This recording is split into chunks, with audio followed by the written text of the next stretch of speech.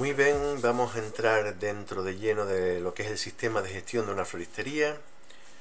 Para tener un poquito claro el concepto de cómo llevar el negocio de la floristería, tenemos que tener en cuenta de que si no hay un sistema a día de hoy informatizado o unos conocimientos básicos de esta gestión, deberemos de subcontratar este servicio, bien a una gestoría o bien a una empresa externa que conozca cómo se hace todo esto. Bueno, ¿y qué es lo que hay que hacer? Lo primero, eh, tenemos que hacer una gestión de productos.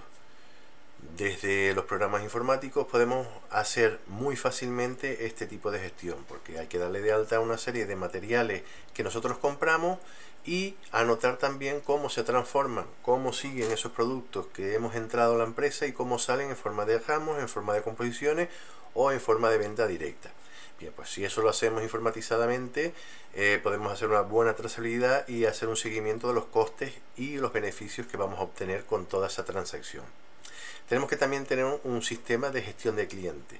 El sistema de gestión de clientes nos va a dar una idea muy clara en todo momento de si nosotros nuestro plan de venta lo estamos aplicando bien o lo estamos aplicando mal.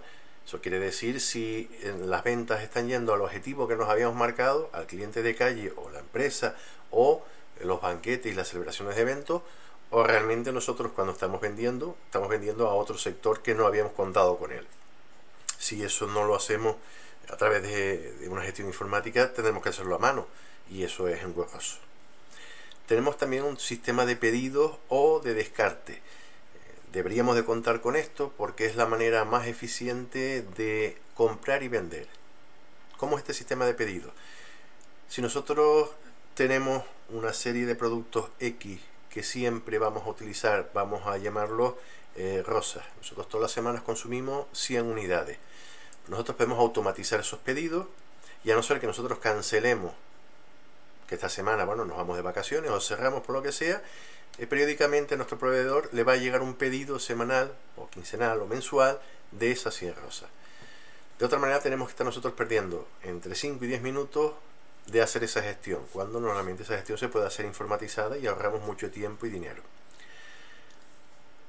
Otra parte importante de los sistemas esto informatizados, de los repartos. Cómo gestionamos esas zonas de reparto, cómo llegamos a hacer esos repartos, si lo hacemos bien, si lo hacemos en tiempo, si hay un seguimiento de lo que nosotros, vamos a suponer que ya tenemos una gran floristería con 15, 20 trabajadores y dos hacen reparto. ¿Cómo sé yo que todo lo que se ha hecho se ha repartido y se ha repartido bien y se ha cobrado? O lo voy apuntando en una libretita, que es un follón tener una persona destinada a eso, o simplemente por la gestión informatizada. Cosas que nos permiten también estos programas de gestión, si hay gastos adicionales, si nosotros eh, tenemos en algún momento que tocar precios. Si nosotros trabajamos eh, de cara al público con unos precios de papel o una etiquetita colocada, cada vez que nosotros cambiemos un precio tenemos que reetiquetar. Si nosotros vamos a poner una oferta tenemos que poner un cartelito y tenemos que hacer el cálculo en la caja. Bueno, todos esos pasos que parecen pequeñas tonterías, si eso está informatizado se hace mucho más rápido, sobre todo cuando se vende a través de plataforma. Si nosotros tenemos nuestra plataforma de internet, unos productos X y nosotros por determinada oferta del proveedor o por circunstancia del mercado queremos bajar el precio un 30%,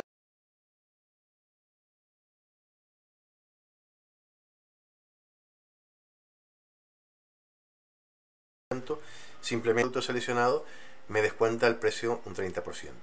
O lo tenemos que subir lo mismo.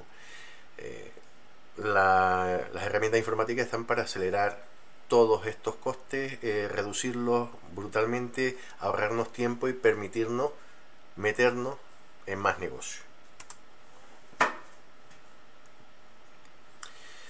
Vamos a ver eh, todo esto explicado de una manera muchísimo mejor, más comercial, donde nos intentan pues, vender un producto, que bueno, es otro sector de venta, no es muy diferente a la floristería, el marketing. Eh, lo que vamos a ver un software para floristería de tipo administrativo y o contable enfocado a mejorar la administración del negocio. El Sofías es un, programa creado para ayudarle a tener una mejor administración y control sobre su negocio. Este programa le permite tener registro de toda la mercancía, controlar su inventario detalladamente, Controlar el dinero que ingresa a su negocio, ya sea en efectivo, tarjetas o cheques. Tener la base de datos de sus clientes y proveedores. Sistema POS para una fácil facturación en los puntos de venta. Múltiples reportes y estadísticas sobre su negocio. Ingreso a su sistema remotamente, ya sea desde su casa u oficina. Módulo de alertas y recordatorios de su inventario y muchísimas más herramientas ideales para su negocio. Además, el software para floristerías también se puede usar como software contable, el cual ayudará a llevar la contabilidad de su negocio automáticamente, incluyendo las nuevas exigencias de las NIF. Le invitamos a solicitar una cotización dando clic aquí. Una vez que ya tenemos claro cómo vamos a hacer nuestra gestión informática de nuestra floristería, tenemos que tener en cuenta otra cosita muy importante. ¿Qué precio le ponemos nosotros a nuestros productos? Eh, bueno, todo va a tener una categoría, todo lo vamos a categorizar, pero al final, para calcular el precio de salida de un producto que vamos a elaborar o que vamos a vender, nos podemos seguir por esta simple fórmula. Eh, es una de las ideas en sí el precio de venta sale de el precio de compra más un precio de compra por una serie de factores como son los impuestos que tenemos que añadir, los cargos y los costes fijos dividido por 100. Bien.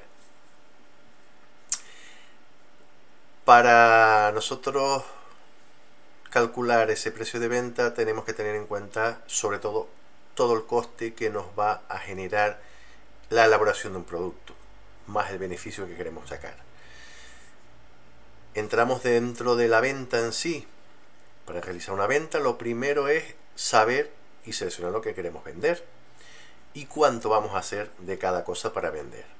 Una vez indicado el precio, la forma de pago y la forma de venta, si es directa o entrega a domicilio, normalmente tenemos que saber cómo vamos a garantizarnos nuestra venta. Si tenemos que emitir una factura, ¿qué datos tenemos que poner?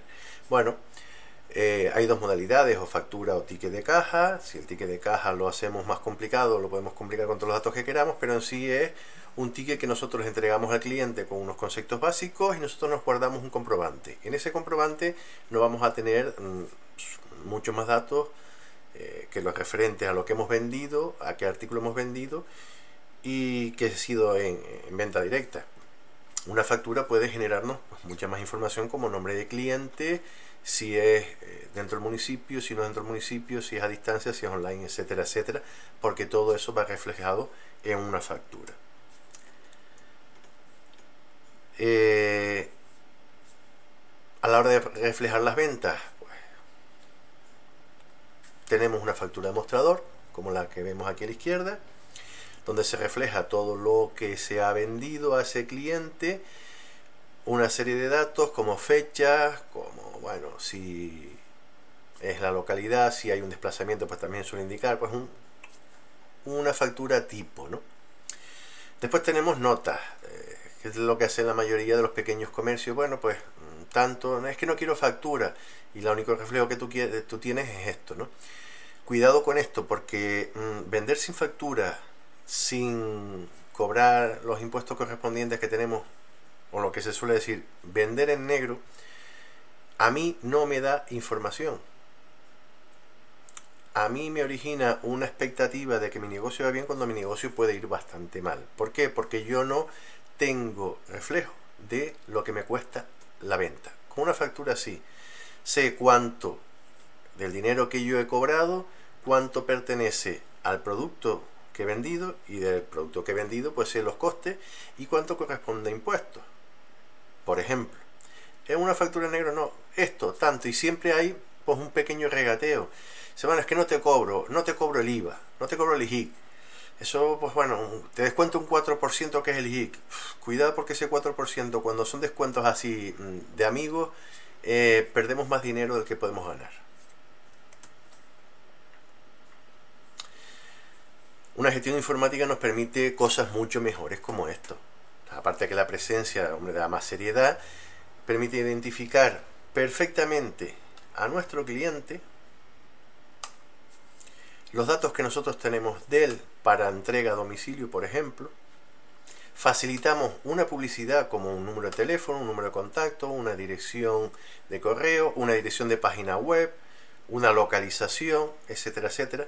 Pero a la hora de facturar y de hacer el seguimiento de nuestro negocio, nosotros tenemos claro, primero, cuando se emite ese producto, qué producto es, qué porcentaje de impuesto es el que corresponde a la venta, cuánto no es mío dentro de ese dinero que tengo en la caja, bueno, cuánto es lo que yo tengo que guardar para eh, pagar impuestos, mensualmente, trimestralmente, anualmente, etcétera, etcétera. Si hay un descuento, cuánto realmente puedo estar ganando y cuánto puedo estar perdiendo. Al final todos estos datos que vemos en una simple factura, lo que nos da a nosotros es, a final de mes, cada 15 días o diariamente si queremos, pedir información hasta el sistema informático. Entonces yo sé realmente cuánto he ganado. A lo mejor me veo en la caja, va, 2.000 euros, 4.000 euros. Y me vuelvo loco. Ah, pues si todos los días gano 4.000 euros, pues, me compro un Ferrari. Bueno, pues resulta que a lo mejor de esos 4.000 euros, eh, tú has hecho demasiado descuento y tú estás cubriendo costes. O sea, realmente no tienes 4.000 euros de beneficio. Realmente tú simplemente tienes eh, que pagar al proveedor 2.000 euros, tienes que pagar de impuestos 1.500 euros y tienes que pagar de nómina otros 500 euros. Con los cuales los 4.000 euros mm, tú no vas a ver un duro de ese día. Si eso no lo tienes claro, eh, el negocio fracasa. ¿Qué formas de pago podemos tener? Tenemos que estar preparados porque pueden ser ahora mismo tanto por teléfono, los Visum, las tarjetas de créditos digitales, diferentes sistemas que van a ir saliendo todos los días. Podemos tener eh, PayPal, sistema de ventas electrónicas, con tarjeta de crédito, por transferencia y en metálico. A día de hoy el metálico, pues hombre, funciona en pequeñas ventas.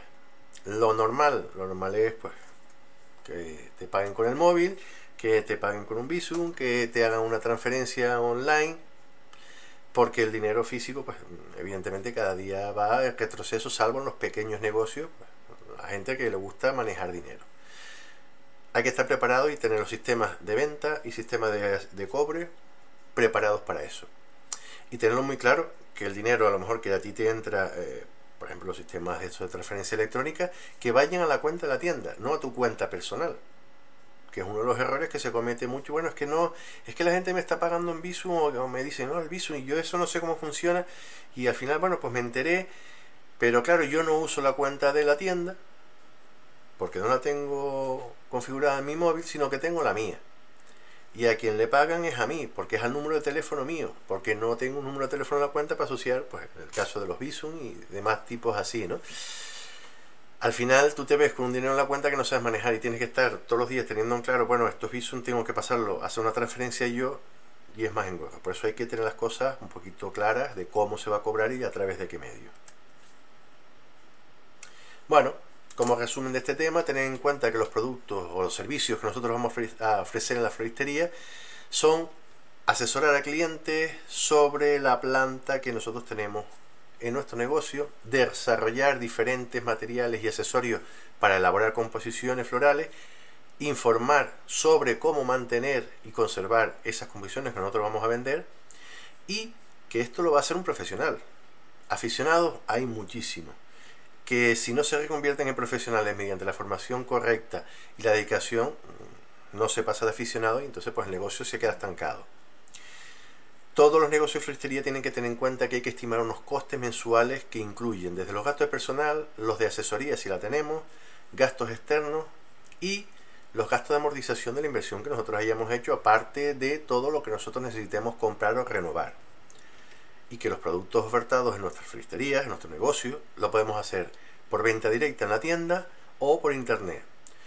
Y no podemos bajo ningún concepto poner trabas al cobro. Nosotros debemos aceptar el cobro o el pago que nos vaya a hacer el cliente como a él le venga bien, no como a nosotros nos venga bien. No es que yo no, no, un cliente que le cueste pagar es un cliente que vamos a perder. Si un cliente no lleva dinero, no tenemos que tener alternativa, bueno, pues mm, una tarjeta, eh, una transferencia, un visum, pero hay que contar con esos medios, si no, mm, la cosa se va complicando y vamos, cada día le va a costar más a ese cliente entrar a nuestro negocio. En todo momento hay que emitir un, como mínimo un ticket de compra y lo ideal sería una factura donde esté toda la información necesaria de nuestra empresa, NIF, la dirección, correo, etc. Fecha de compra y las características básicas del producto que estamos vendiendo. Que esté perfectamente claro que si yo vendo un ramo de rosas rojas, aparezca ramo rosa roja, unidades 12, 20, las que sean, pero que ponga rosas rojas. No ponga ramo flores. No. Porque después a la hora de nosotros hacer nuestra trazabilidad, realmente no vamos a saber cuántas flores rojas cuántas rosas rojas, no vamos a saber en qué momento la gente compra más rojo que amarillo, si ya el rojo no le gusta, si el amarillo no le gusta, si los claveles van, si no van específico. No hace falta poner un, Padre Nuestro en la factura, pero sí tener muy claros los conceptos o asociarlos a una referencia que nosotros tengamos perfectamente detallado ese producto de qué se compone. Y colorín colorado, esta unidad hemos terminado.